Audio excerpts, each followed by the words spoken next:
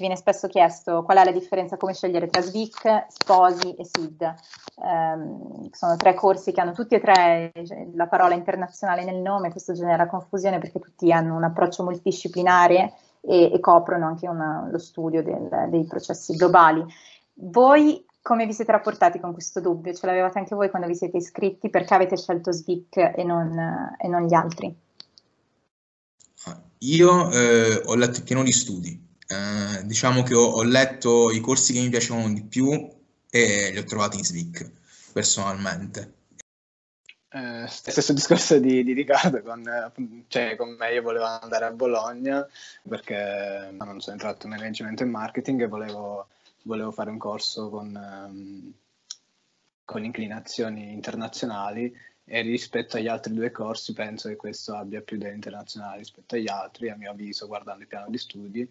Ma io un po' come gli altri, personalmente penso che sia molto molto difficile ehm, consigliare un'altra persona, nel senso per, per me è stata una scelta estremamente individuale, io l'ho voluta prendere mh, mm, abbastanza da solo, nel senso diciamo, avevo una vaga idea di quello che volevo fare dopo e, e rispetto a quell'idea secondo me Svic eh, era più coerente eh, rispetto a quelle che erano le mie prospettive.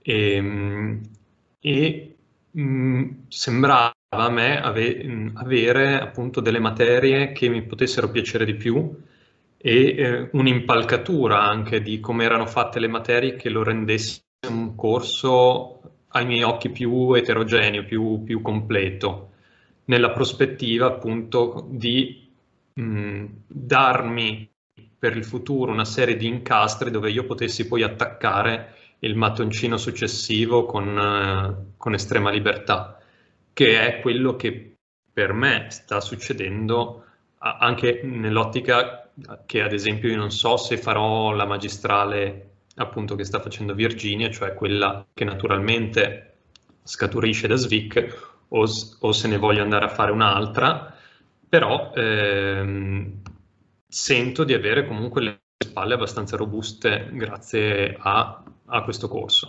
Quella che è stata la mia esperienza e credo che sia anche condivisa eh, è che proprio avere un, una visione di insieme così ampia mi ha permesso di capire esattamente che cosa volevo fare, cioè sono entrata con un certo tipo di idea e l'ho cambiata nel mentre, ho fatto tanti giri, sono ritornata alla mia idea iniziale ma molto più definita, molto più concreta e, e, e, e sono molto grata proprio di aver studiato, questo può essere un ostacolo, no? vedete al primo e secondo anno materie anche molto, eh, molto basic, no?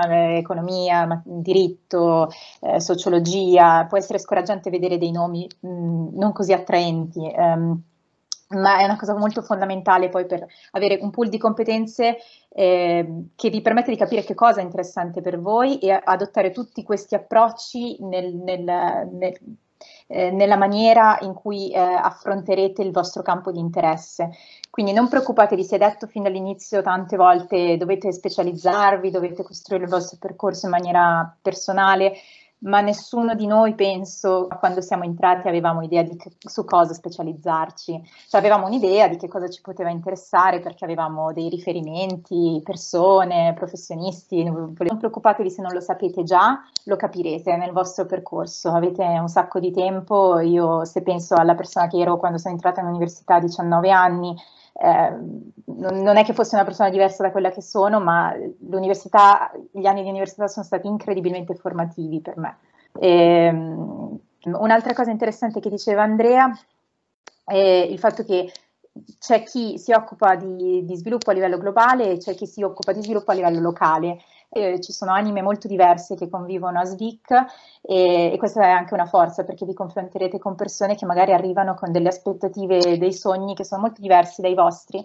E, ehm, molti partono da un livello globale e poi si specializzano nello sviluppo territoriale, si appassionano alla valorizzazione dei propri territori. È un percorso comune, ma esistono una varietà incredibile di percorsi. Quello che mi sento di dire è che SVIC ehm, non è che è, è, più internazionale degli altri, in realtà scienze internazionali diplomatiche possiamo dire che tiene l'aspetto internazionale costante, cioè qualsiasi cosa è affrontata da un punto di vista internazionale, mentre SVIC ha anche approcci che hanno un carattere più territoriale, locale. E, ehm, quello che fa SVIC è intanto avere un un focus specifico sullo sviluppo e, e, anche sullo sviluppo sostenibile, chiaramente, anzi, sullo sviluppo sostenibile.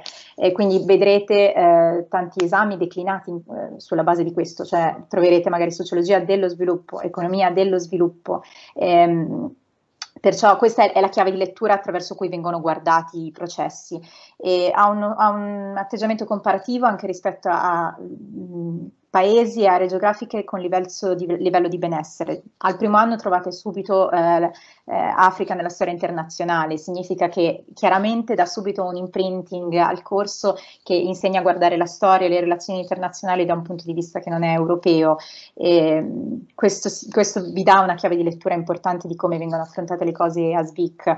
Quindi questo è quello che vuole essere un po' l'elemento peculiare che distingue SVIC eh, dagli altri corsi. Ci sono delle cose in comune, ci sono anche, soprattutto con i crediti a scelta, tra SVIC e Sposi, ci sono anche degli insegnamenti che sono in comune, che possono essere mutuati. Ehm, quello che speriamo che sia passato è che guardate il piano di studio, guardate quello che vi interessa, proprio perché nessuno di questi tre corsi è fondamentalmente particolarmente diverso dagli altri potenzialmente le possibilità che vi lasciano aperte in magistrale sono molto simili se non uguali. Quindi chiedetevi veramente che cosa volete studiare adesso in triennale, quali sono gli esami che vi interessano di più. Prendetevi i piani di studio, proprio ve li scaricate, ve li confrontate, cliccate su ogni insegnamento, guardate che cosa c'è in quell'insegnamento, quali sono i testi di esame e chiedetevi veramente che cosa vi interessa di più fare. Secondo me questa è proprio una volta che avete definito che volete eh, venire in Unibo e volete studiare le scienze politiche e sociali e avete un dubbio tra questi tre corsi, l'ultimo elemento proprio per scegliere è guardare i piani di studio e, e scegliere in base a cosa vi piace.